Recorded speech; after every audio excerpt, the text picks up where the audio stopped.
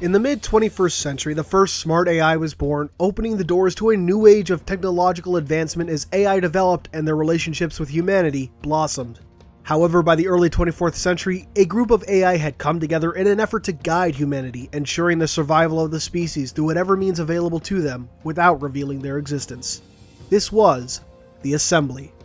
The Assembly was comprised of at least three bodies the majority, the minority, and the Committee of Minds for Security. The majority was largely known for supporting indirect action, while the minority supported acting directly.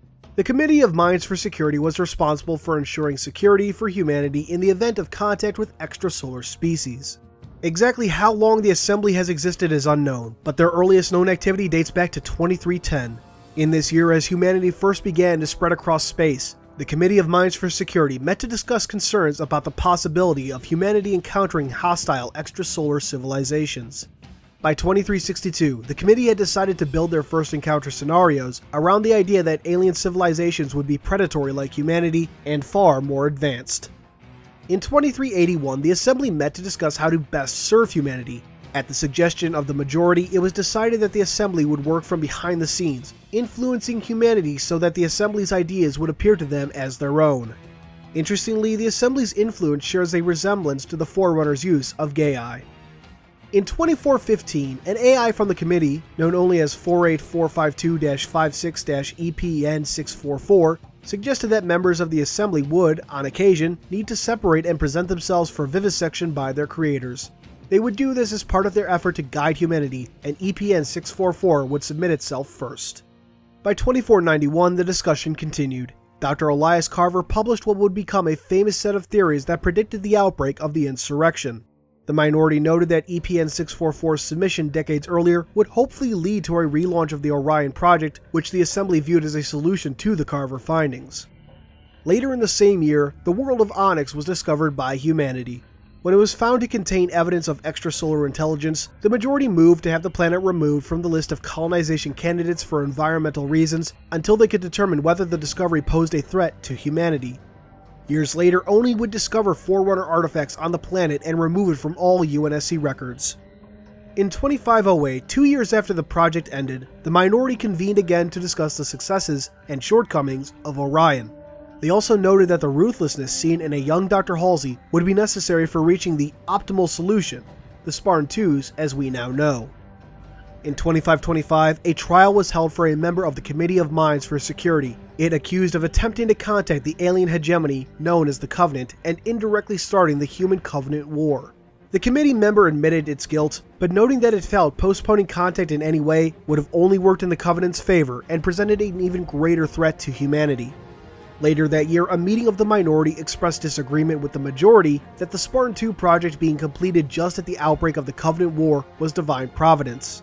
The minority held that it was entirely predictable when analyzing the relevant data and further suggested to leave metaphysics to the creators. A year later in 2526, the committee met to analyze the recent orbital bombardment of Biko and the use of the word glassing to describe such acts going forward. While they concluded that the Covenant lacked sufficient firepower to literally glass most planets, it was decided that use of the term would better convey the power of the Covenant to humanity. In the same year, the minority and majority discussed the redistribution of ODSTs and Spartans on the battlefield, moving the Spartans away from maintaining and or re-establishing infrastructure, leaving it to the ODSTs. Another meeting of the committee in 2526 discussed the possibility of contacting their Covenant counterpart to either subdue or subsume them. As the Covenant held a religious aversion towards advanced AI, it seems unlikely this ever occurred. Of course, one cannot help but wonder if the Assembly might have found, if not made contact with, the Mendicant Bias fragment on High Charity. In 2528, the minority decided to sacrifice remote, low population colonies in order to determine the Covenant's pattern of operations so effective countermeasures could be devised. In 2534 and 2542, further conditions for candidate planets were added to lessen the death toll. In 2530, the Assembly met to discuss the state of the war four years, more than eight colonies, and over 62 million lives lost. They discussed the possibility of re-terraforming certain planets, and concluded that the Assembly must take a more active role in the war if they hoped for humanity to survive. A year later, in 2531, the Committee of Minds for Security discovered the existence of the Flood when the Covenant discovered Shield World 0459, the same world the Spirit of Fire would eventually destroy. All the committee knew at the time was that the Covenant feared the faction. Due to a lack of available information and given the Covenant's reaction, the committee decided that contacting this third party would be inadvisable. Looking over their decision, one cannot help but wonder if the Assembly might have had something to do with the Spirit of Fire's mysterious classification as Lost with All Hands in 2534. In 2535, the majority further discussed fully exposing their existence to humanity to help in the war effort. In 2547, Dr. Catherine Halsey, a subject of great interest for the Assembly, attempted to create an abstract fractal structure in slipspace. Such a structure would allow an AI to outlast the standard 7-year lifespan and expand its knowledge indefinitely. Though the experiment was a failure, the minority found it particularly interesting. Notably, further experimentation could allow AI to effectively achieve immortality, the minority even briefly entertaining the notion of fleeing into slipspace to survive the Covenant War. Second, though, is that Halsey had attempted this with minimal influence from the Assembly. In the end, regardless of potential outcomes, it was decided that further experimentation must be actively encouraged. Following the human AI integration test on August 29, 2552, the Assembly had an emergency meeting to discuss the implications of the test. For the AI, the merging of human and AI effectively drafted them into the war effort and brought the creators closer to the created. They were not merely shepherds now, but companions. At some point, presumably in 2552, an unknown person arrived at Reach with refugees of the Covenant War and stumbled upon the assembly. This person listened in, copied their logs, and was seemingly driven semi-mad by his findings. He left datapads on Reach for another to find, but whom is unknown. The assembly was a final gift from Bungie to fans of the deeper lore.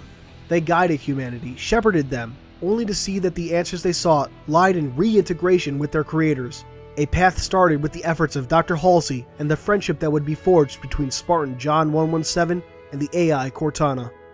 With the coming of the created storyline, it would seem no better time for the Assembly to finally expose themselves to humanity.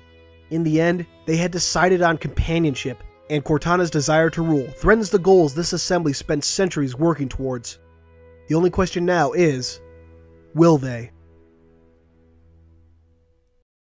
Hey guys, thanks for watching. If you liked this video, please consider giving it a thumbs up, subscribing, and sharing it around.